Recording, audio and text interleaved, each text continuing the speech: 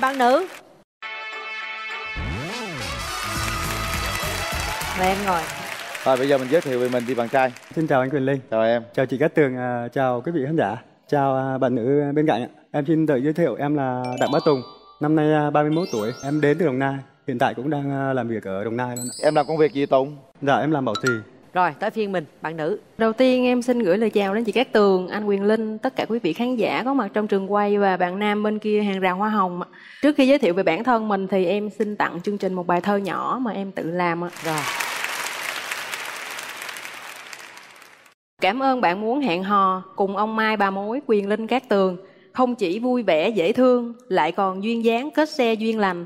Chúc chương trình ngày càng nhiều người đồng hành, xe nhiều duyên mới tiếng lành đồng xa. Hay. rồi thay mặt chương trình cảm ơn em bây giờ thì mình có thể giới thiệu về mình Em à, xin tự giới thiệu, em tên là à, Ngọc Diễm. Năm nay em 26 tuổi, em sinh ra và lớn lên tại thành phố Hồ Chí Minh. À, hiện tại em à, sinh sống và công tác tại quận 7. ạ. Công việc hiện tại của em là chuyên viên R&D, chuyên nghiên cứu và phát triển sản phẩm thuộc lĩnh vực thực phẩm. điểm mạnh điểm yếu của em Điểm mạnh của em là em à, vui vẻ, hoạt bát, em rất là hài hước. Nếu như mà ai mà quen biết em thì nói chuyện với em từ đầu đến cuối là em sẽ là bao vui, bao nhây, bao, vui. lầy giống như cơm bao no. bữa nay lát em làm sao em bao vui cho anh đó giùm chị nha Dạ, bên cạnh đó thì em là người phụ nữ của gia đình. À, em biết nấu ăn, chăm sóc nhà cửa. Nói chung là việc chăm sóc gia đình thì hoàn toàn là đối với em không có vấn đề gì cả. Chăm chỉ siêng năng và em ờ, gọn gàng, sạch sẽ, ngăn nắp. Thấy bên đó ổn nha, đàn, trai- Ổn. đàn gái ổn đó. Dạ thấy à, có vẻ hoàn hảo đấy À. À, còn em?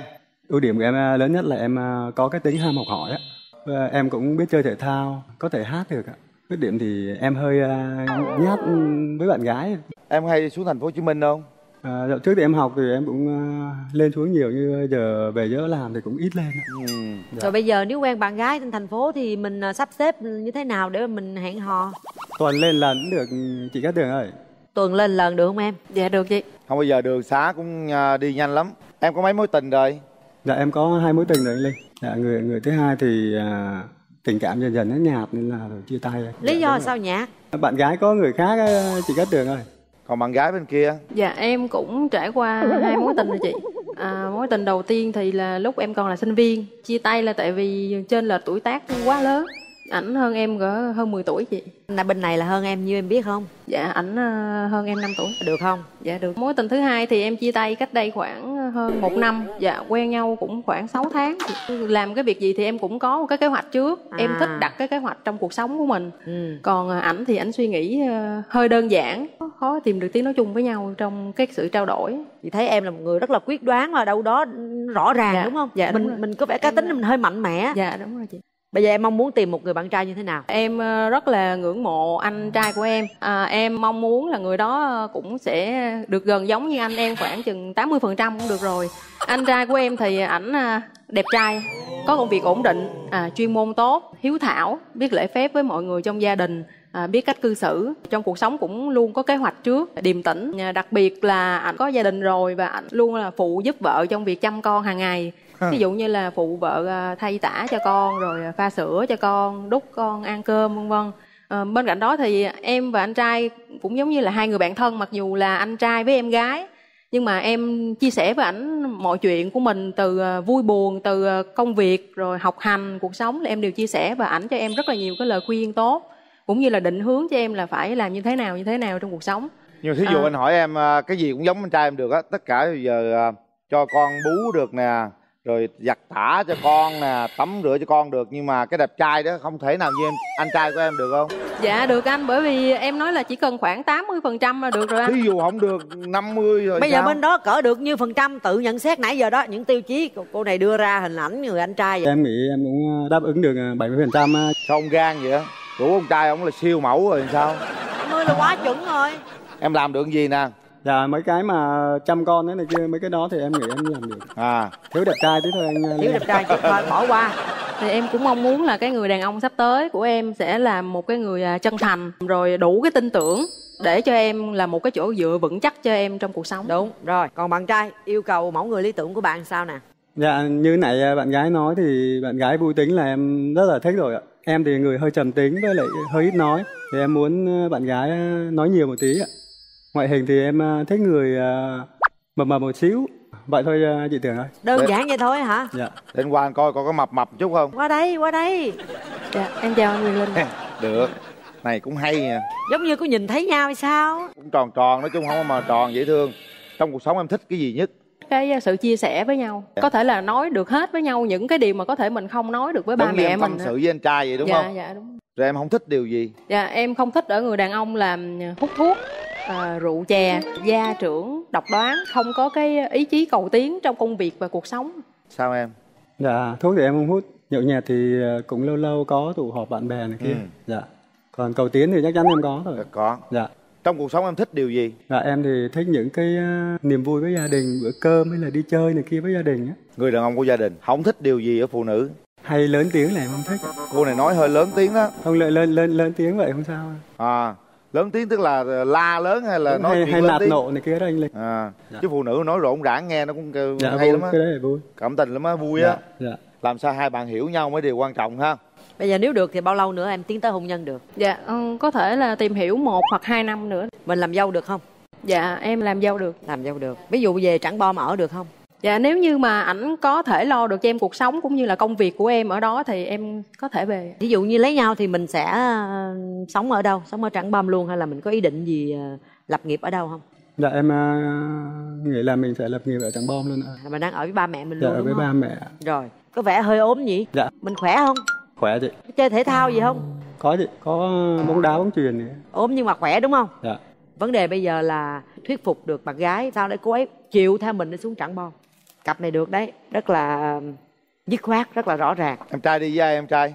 Dạ hôm nay em đi với mẹ với lại hai cô, anh rể với lại à, em à, em họ nữa.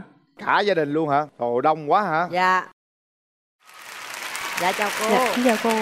Xin chào à, em Chi Quyền Linh và Cát Tường. dạ Bên cháu à, thì cũng được rồi đấy. Bên à, bác à, bác rung quá rồi.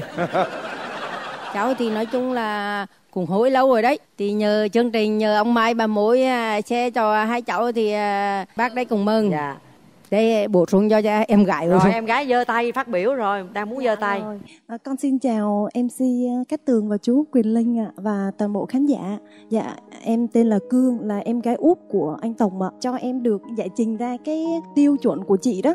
Cái tiêu chuẩn ngoài đẹp trai ra thì em thấy mọi cái còn lại ấy, thì em thấy là 80 90% là Ô, anh em có thể rất là đẹp trai chị thấy đẹp về gia đình á chị. Thì anh luôn luôn hướng về gia đình. Em muốn chia sẻ một câu chuyện là ngày đấy anh đi học ừ, ôn thi đại học ở trên đại học nông lâm á. Cái ngày đấy là 8 tháng 3 trời mưa nữa, mà hồi đấy là anh đi xe đạp, chứ không có xe máy nữa. Anh chạy từ, đạp xe đạp từ trường nông lâm về nhà để tặng hoa mùng 8 tháng 3 cho mẹ với em. Dạ em rất là xúc động vì vậy anh em là một người cầu tiến biết tự mình học hỏi chị anh em hiền em cũng hy vọng là chị cũng ờ, bù đắp lại cho anh em á anh em thì hơi ít nói đó em cảm ơn chị em gái dễ thương quá Em cảm ơn em.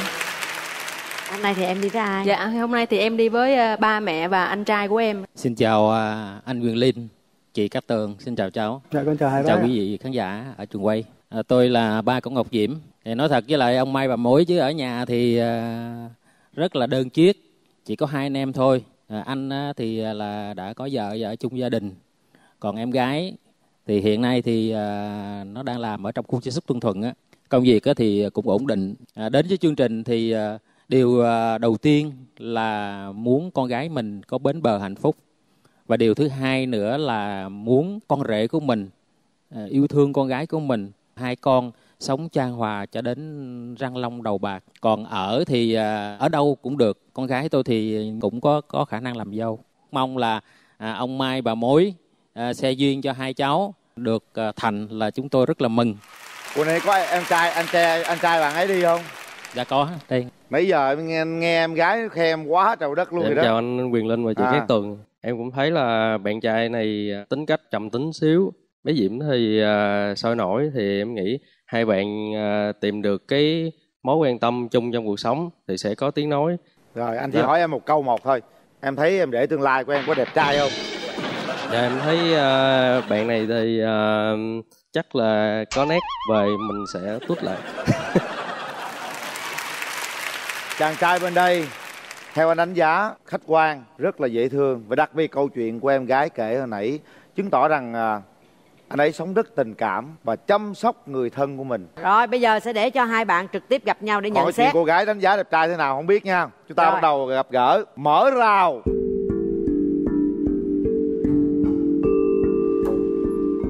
bắt đầu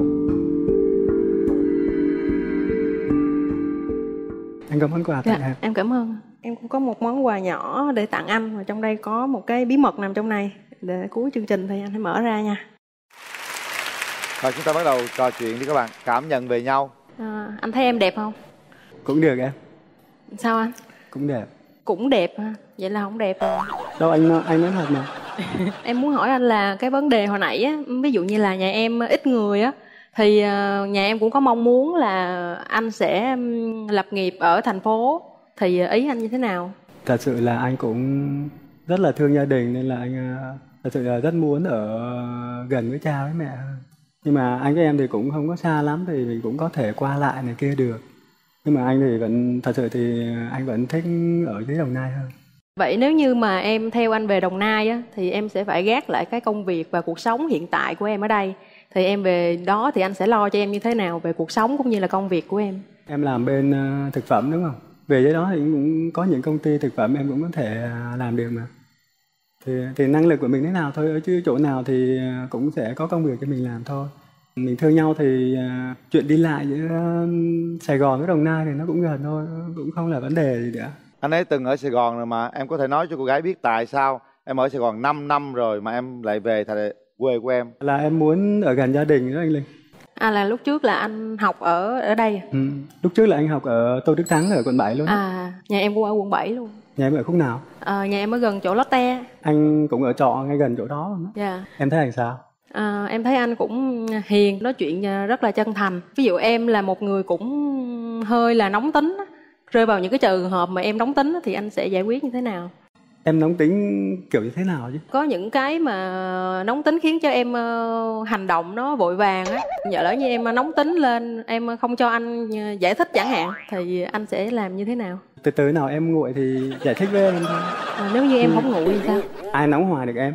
Thì à, cũng sẽ có lúc em sẽ nguội thôi. Anh à, muốn hát tặng em một bài. Muốn qua thêm một ngày để nhận thêm một nụ cười. Muốn qua thêm một ngày để ngày mai lại thấy em. Bỗng dưng sau một ngày anh nhận ra đang yêu người bỗng dưng sau một ngày anh nhận ra đang nhớ em. Thôi em xin hết thì em cũng có một cái ờ, câu này muốn hỏi anh. À, em ví dụ thôi nha. Cái người ngồi đây không phải là em mà là một cái cô gái khác. À, trong cái quá trình trò chuyện á, thì anh à, rất là thích cô đó và anh ngủ trong lòng anh sẽ bấm nút chọn cô đó. Nhưng mà anh cảm giác á, là cô đó không có sẽ không sẽ không bấm chọn anh và đồng thời là cả hai bên gia đình đều có cái ý giống như là hai bạn cũng không có hợp nhau đâu. Vậy thì cuối cùng là anh có bấm nút chọn cô đó hay không? Mà anh sẽ bấm. Theo à, lựa chọn của anh. Bởi vì à, thật sự là em hỏi câu này để em muốn xem là anh có phải là một người đàn ông bản lĩnh hay không.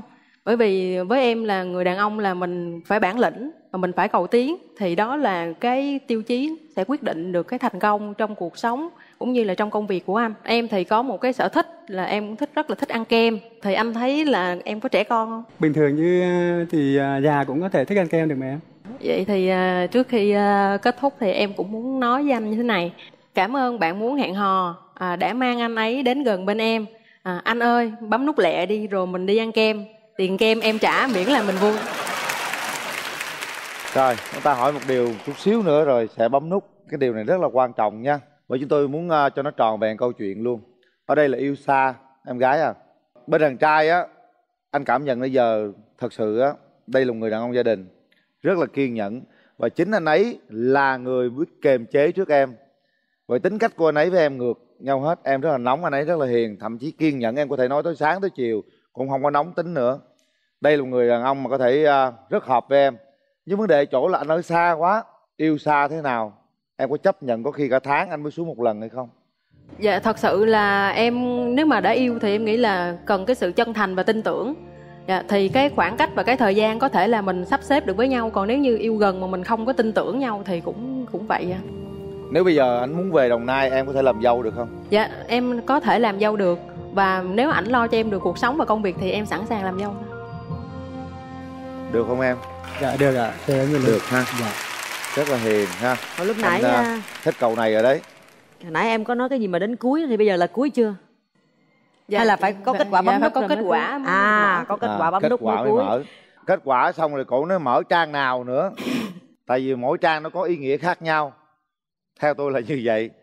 À, em trai rất là chân thành đó. Anh thấy là như vậy à, nếu được một người chồng thế này à, anh xin chắc rằng là hạnh phúc sẽ đến ha? Anh chỉ hơi ít nói một chút thôi nhưng mà rất quyết đoán.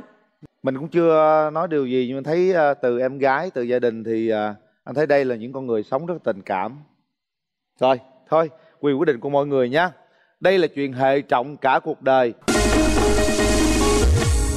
Suy nghĩ thật kỹ và quyết định. Không rung động là không bấm và bấm thì phải chịu trách nhiệm với nút bấm của mình các bạn nha. Hiện nay ba mẹ và tất cả người thân đang quan tâm chúng ta. Đưa ra quyết định của mình sau 3 tiếng đếm. Một hai ba. Hết thời gian. Em. mở đi mở. Đọc đi em Món quà nhỏ cho lần đầu gặp gỡ. Bao tâm tình gửi trọn vào vần thơ. Hứa dìu nhau đi qua những ờ, mùa nhớ Để tình mình đẹp cả trong giấc mơ. Đây là một cô gái cũng rất là cá tính đó. cá tính. Sẵn đây có ba mẹ hai bên đó. Em trai muốn nói gì với à, ba mẹ cô gái? Dạ con chào hai bác ạ. À, Nếu mà con với em đến được với nhau thì ờ, con sẽ cố gắng lo cho em ạ. Dạ. Em gái muốn nói gì với gia đình của bên bạn trai Dạ, chào gia đình của bạn trai ạ. Dạ, ừm, thật sự thì con không ngại cái vấn đề làm dâu đâu bác. Và con nghĩ là trong cái quá trình con và anh còn cái quá trình tìm hiểu nhau nữa chứ không phải là ngày hôm nay là quyết định tất cả. Dạ, nên con nghĩ là con và anh sẽ cho nhau cái cơ hội tìm hiểu nhau. giờ thì bác lên đây con à, nhất trí bấm chuông này thì bác nói cho về bác là cùng chẳng phải làm dâu con thích thì con làm mà không thích thì ở riêng đất đai thì có. Nói chung thì hai đứa ở đâu bác cùng không đặt thành quan trọng ở đâu cũng được. Hạnh phúc là được rồi. Cha mẹ nào cũng thương Đúng con rồi. cái cũng muốn cho con cái mình Chính được có một xác. cuộc sống hạnh phúc nhất. Thôi Bây giờ hai đứa nắm tay nắm nhau tay đi. nhau đi hai bạn. Xin ba mẹ không bạn gái. Dạ con ờ, xin phép hai bác ờ, cho con ờ, hôn Diễm ạ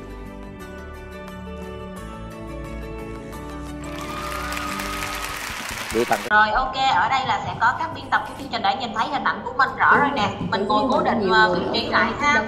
Rồi, à, mình à, sẽ bắt đầu à, giới thiệu về bản thân mình trước nha. Những cái thông tin về họ, tên, tuổi, quê quán và công việc của mình là gì. Nhìn chung là mình sẽ tự chủ động chia sẻ và khi nào biên tập thấy thiếu vấn đề gì đó thì họ sẽ hỏi thêm nha. Dạ, Rồi, ok. Rồi mình bắt đầu luôn đi em ơi. À, vậy là em bắt đầu luôn nha chị. Ừ, ok em. À, dạ, à, em chào mấy anh chị nha. Dạ, em là à, Nhị Cường. Em à, năm nay 27 tuổi. Là em quê ở Thừa Thiên Huế. Thì hiện tại em đang sinh sống và làm việc tại Cần Thơ. Thì công việc hiện tại của em là nghề bên uh, sale bất động sản của công ty Đức Xanh miền Tây đó chị. Thì à, Em là cái gì Cường? dạ em là Hoàng Nhị Cường. Hoàng Nhị Cường. Rồi, Dạ, em em làm ở Cần Thơ lâu chưa? Dạ thưa chị là em làm khoảng 6 tháng á. Trước đó là em làm bên Sài Gòn á chị. Ừ. Là trước đó là lý do vì sao mà em chuyển về Cần Thơ làm? À, lý do là đợt đó em ờ, kinh doanh trên đó rồi xong dịch quá nên không được nên em chuyển xuống dưới dưới đây làm á chị. Ừ. Rồi, công việc hiện tại của em ở Cần Thơ thì có ổn định không? Dạ cũng ổn định nha chị. Ừ. Rồi, coi như là quê nhà này kia của em là vẫn ở ngoài Huế đúng không? Dạ đúng rồi. Ừ. Rồi ok, Cường à, chia sẻ về bản thân em đi Những cái điểm mạnh, điểm yếu của mình như thế nào ha À dạ thưa chị là điểm mạnh của em là à, điểm mạnh của em là sao nhỉ là nói chuyện là vui vẻ hài hước à, luôn à, gọi là luôn cố gắng để mà mang lại vui cho người khác á chị. Rồi à, điểm mạnh cũng là kiểu như là mình là người biết quan tâm và quan tâm lắng nghe và động viên người khác. Còn à, điểm yếu của em là em nghĩ là mình sống hơi vội á chị sống hơi nhanh. Với lại mình em nhìn không biết nấu ăn. Dạ em xin hết đó chị. Ờ sống vội là như thế nào em? Cụ thể em thường sống vội trong những trường hợp gì? À sống vội tức là kiểu như em um, tức là em uh, có một cái bài học là em uh, ngủ ra được là những như kiểu như là thời gian mình trôi nhanh quá nên cái gì em cũng làm nó nhanh hết trơn á chị. Ví dụ như uh, em làm một cái việc gì đó là em cũng hoàn tất cho cái việc đó cho nó nhanh với lại nó hoàn hảo nhất đó chị. Rồi rồi vậy thì là trong tình yêu thì có yêu vội không? Trước giờ là là trải qua mấy mối tình rồi dạ thưa chị là trước giờ là chưa có mối tình nào hết trơn đó chị trời đất ơi nhìn dạ. thấy là cũng ok ngoại hình rồi hài hước thì kia các thứ rồi sao mà chưa có yêu ai. dạ cái này thì em cũng nói chung là lý do thì em cũng không biết lý do tại sao nữa. nhưng mà em thấy cái cái thời gian gần đây là em cũng kiểu như mình cô đơn và mình cũng là muốn kiếm một người còn lại của mình đó thì trong cái công ty của em thì em cũng chủ động và kết nối với nhiều người để mà tìm hiểu. Nhưng mà qua cái cách nhắn tin em thấy là họ không có nhã ý với mình nên rồi là thôi luôn. Là cũng bởi vậy em mới nhờ tới chương trình đó thì tại nó bay không bắt học nên là người ta không rảnh rồi nên là hồi giờ là em không có để ý ai luôn hay như thế nào hay là có tìm hiểu ai không hay sao? Em em có để ý em có tìm hiểu em có những tin có người ta đi uống cà phê hay là đi chơi chẳng hạn. Nhưng mà uh, qua cái cách nhắn tin của người ta là em thấy là người ta không có để ý tới mình với lại người ta mình nên nhiều khi nhắn nhiều người như vậy nhiều khi mình nạt cũng hơi chán á chị cộng ừ. thêm rồi áp lực công việc thì uh, áp lực công việc này kia nữa nên nên hiện tại là giờ chưa có ai luôn ừ. rồi dạ bây giờ là em sẽ mong muốn tìm một cái người bạn gái như thế nào để phù hợp ha về những cái tiêu chí uh, ngoại à. hình tuổi tác vùng miền công việc ha. Dạ. Thì uh, uh, cái mong muốn tìm được uh, tìm người bạn gái lý tưởng của em là thứ nhất là biết quan tâm người khác biết biết lắng nghe và uh, biết lắng nghe người khác. Um, với lại uh, uh, vùng miền á chị vùng miền thì ờ, nói chung là em cũng không quan trọng cái vùng miền lắm nhưng mà chỉ biết là chị uh, mong muốn là người đó hiểu. Nói chung là hiểu và cố gắng chia sẻ mọi thứ trong cuộc sống. Cố gắng lắng nghe em cố gắng để mà hiểu nhau hơn chị. Biết nấu ăn càng tốt nha chị. Rồi tuổi tác thì sao em? Tuổi tác à, dạ thưa chị tuổi tác thì đâu đó khoảng uh, từ 24 tới 4 tới 31 cũng được nha chị. Rồi thì là em có yêu xa được không? Hay là như thế nào yêu xa thì uh, dạ cũng cũng được. Nhưng mà phạm vi là phạm vi là cái tỉnh thành miền tây với lại sài gòn đó chị. Còn ví dụ như ngoài hà nội với lại ngoài miền trung thì đâu có được. Tại vì hiện tại em đang công tác ở đây mà. Ừ. dạ. Rồi có cái uh, điểm gì em không thích ở người bạn gái không?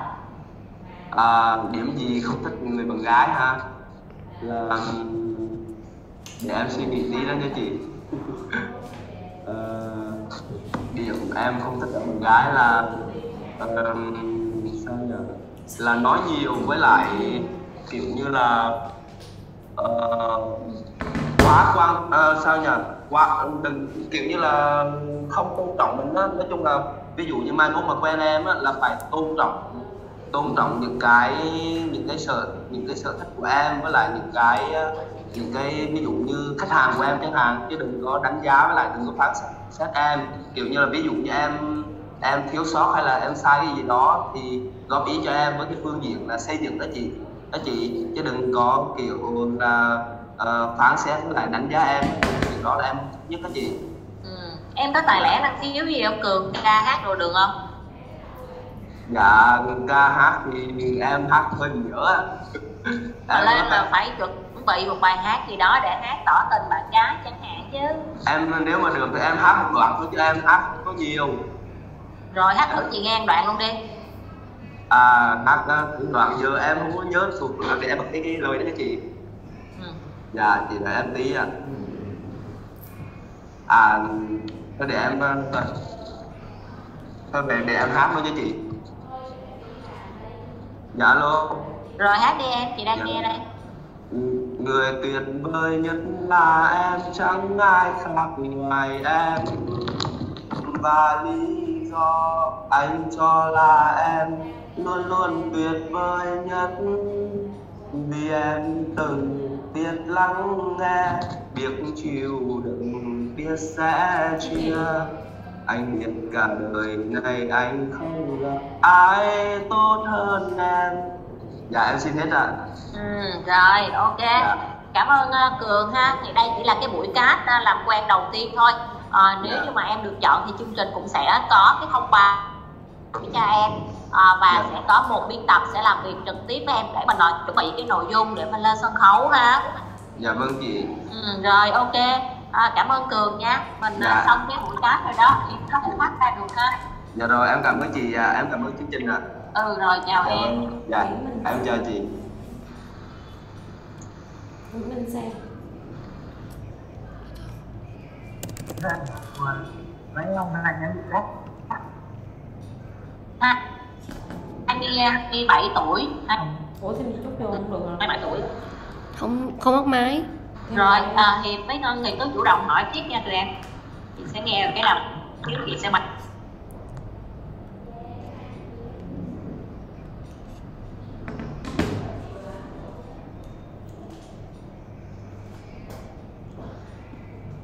Minh Giang vào nè. À, dạ em tên là Đỗ Thanh Thông. Em đang ở Bình Phước á. À, hiện tại em đi đi dạy tiếng Anh á chị. Um, quê quê gốc thì ở bên Bến Tre lên, lên Phước thì từ năm lớp sáu thế là mấy người công việc ổn định rồi đó. Ừ. anh thông sinh năm bao nhiêu nhỉ? Sinh năm 90 anh Dạ vâng anh có sở trường uh, sở đoản gì anh cứ giới thiệu về bản thân mình để bọn em hiểu hơn về anh cái um, thì um, công công việc chính là dạy nói chung là tài, tài lẻ thì không có không khó anh uh, ưu điểm khuyết điểm của mình? Ưu điểm thì uh, uh, à, làm cái gì thì uh, kiên nhẫn á kiên nhẫn là chịu khó làm rồi, uh, chịu khó nghiên cứu uh, tìm tòi mấy cái vấn đề mình và quan tâm á. Còn uh, còn còn còn khuyết điểm thì uh, uh, ví dụ như là mấy mấy cái việc nhà thì không có được siêng làm lắm đó là một trong những cái khuyết điểm. Với lại cái gì đó anh nói với lại ví dụ như là cái gấp việc gì đó thì nói nó nói bị vấp lắp á nói chuyện nó lắp á. Dạ. Yeah. anh em ở bình phước là anh ở với gia đình mình hả à đúng rồi anh ở với gia, gia đình. Ừ, dạ. Um, tình, trường của mình. Như thế nào rồi? Thì hồi, ừ, hồi trước giờ là có có có hai mối mối tình á. Cách đây năm khoảng 8 năm. Thì um, có quen cô quen quen khoảng uh, gần năm thì chia, chia tay. Và gần đây nhất thì năm 2019 á. Còn cũng uh, không có đến được uh. anh anh cảm thấy sau hai mối tình nhé mà mình đã chia tay ấy, thì thường là lỗi từ do mình hay là do đối phương ờ, cái này chắc là có thể là không có duyên đó thì cái mối gần nhất thì họ kiểu như họ bên đạo thì không có đến được thì nói chung là cái này nó nghĩ là không do không có duyên thôi. Không duyên thì thì lúc đó chắc là, là, là còn non nớt quá. Còn non nớt quá rồi rồi hai bên chưa chưa có hiểu nhau á không có đi đến được còn sau này thì cái dạ. Nhưng mà sau những cái thời gian mà mình là cô đơn á mình không mình sau những cái mối tình đó thì có tìm hiểu không? Cái môi trường làm việc của anh cũng có nhiều bạn nữ có tìm hiểu một số bạn không Ờ, chia tay tại vì ờ, cái, cái ờ, môi trường làm việc thì có có nữ nhưng mà ờ, họ có có có người yêu rồi có gia đình rồi anh với lại là cái ờ, giờ giờ giấc của em làm nó không có giống như giống như kiểu là sáng và chiều. làm hành chính á. kiểu ờ, làm chủ yếu là cuối tuần với lại ờ, buổi tối. Cho nên là cái ờ, thời gian hẹn hò nó không có được cho người ta đó. Cho nên là cũng ờ, ít tìm được đối tượng nhìn gì đúng không? Mà không gì Ừm, thường trong mối quan hệ thì anh có phải là người chủ động không ạ? Ờ, nói chung là cái cái, cái chuyện ờ, không không không có không không có kiểu giống như là cái mấy cái bạn trai khác là ờ, kiểu như chủ động tới ờ, tán tỉnh này kia nọ như nó không phải vậy á. Tại vì tính cũng, cũng không có, có được cái gì. À, ấy lắm là anh tự nhiên thôi là quen từ từ quen rồi. Chứ không có kiểu ấy. Vâng, thế bây giờ anh mong muốn là chương trình các tìm cho mình một phim về phụ nữ như thế nào? ờ, thì ờ, ừm, cô nào mà xinh xắn rồi ờ, dễ thương ờ, ờ, biết lo tuổi tác hả tuổi tác ờ ờ đúng rồi. Cái tại vì em không có theo theo, đạo tại vì cái bữa cô cô ấy là theo theo theo đạo thiên chúa mà gia sùng sùng đạo quá không có chấp nhận cái người bên không đạo á. Cho nên là không có được. Dạ. Thì bây giờ nếu mà mình à, để lên đó mình tính được không? Lên mình thương lượng ví dụ bây giờ trước mắt đạo anh ấy giữ đi rồi lên đó mình hai bạn tìm hiểu nhau trước rồi mình sẽ nói chuyện dạ dạ cái đó cũng ờ, được chị không không không, không em không có vấn đề gì hết. Ví dụ như là cái đó là tự do tự do tín ngưỡng là cái ờ, ai muốn theo đạo gì theo. Thì ờ, do nhưng nhưng mà có một số ờ, bạn thì ờ, kiểu như là phải mấy mấy mấy bạn đó là chương trình họ hỏi trước là có có cần người theo theo đạo đó hay không. Thì em thì không có không có quan tâm lắm. Thì um, miễn sao là là truyền đúng cái đối tượng mình thích là thích là được thôi. Chứ uh, đạo thì em không có ấy đâu rồi. Còn yêu cầu gì nữa không em? Dạ. Ờ, lúc nãy em tính em tính uh, nói cái gì đó để em quên mất tiêu.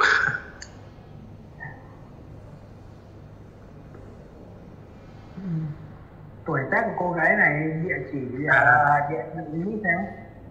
tuổi tác Ờ, em mong muốn ờ, tìm người nhỏ nhỏ của em ờ, ít nhất tầm hai hai hai tuổi anh Ừ, nhỏ nhỏ hơn ờ, tại vì ờ, nếu nếu nếu bằng tuổi quá em thấy cũng ờ, họ lớn hơn em thấy nó nó, nó hơi ngán ngán nhỏ nhỏ tuổi hơn dạ. Um, ở phải ở Bình Phước hay là ở Sài Gòn hay mấy tỉnh lân cận có được không? ờ dạ được anh mấy đó em mới đi xa em đi cũng được không không gì hết Dạ rồi.